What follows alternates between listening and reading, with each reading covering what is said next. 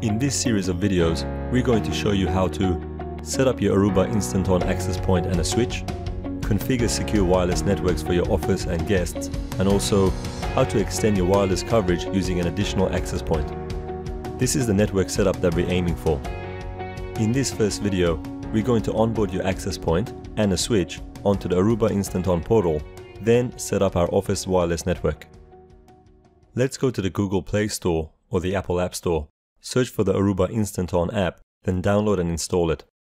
Open the app and tap on Create an account. Fill in your email address, choose a password, accept the end user license agreements, and click on Create account.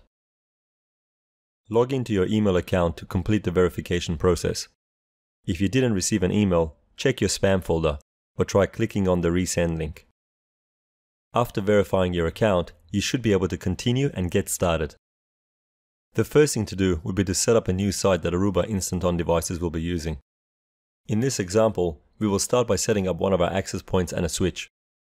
Tap Continue.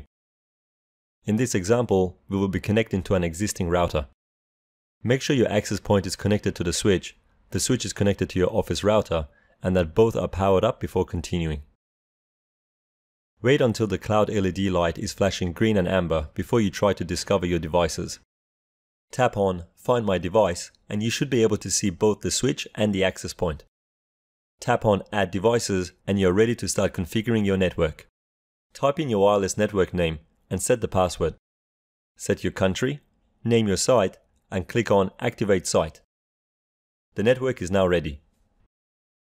We can see that our wired and wireless networks are active and that our access point and switch are online. Let's use a laptop to connect to the newly set up Corp SSID. You can see there is one client connected. Tap on the Site Health tile at the top. There are no issues to report. Tap on the Networks tab at the bottom. You can see the Corp SSID that we set up on the Office network. Tap on the Clients tab and then tap on the client itself. You will see a laptop connecting wirelessly using SSID Corp on AP1.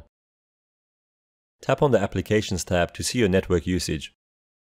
Tap on the Inventory tab and then again on the access point itself. Let's give it a meaningful name.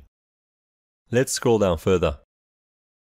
Here we can see that our AP is connecting to the network on port E0 through our Aruba Instant On switch and that both radios are active. Tap back to go back to inventory and tap on the switch. Let's give it a meaningful name.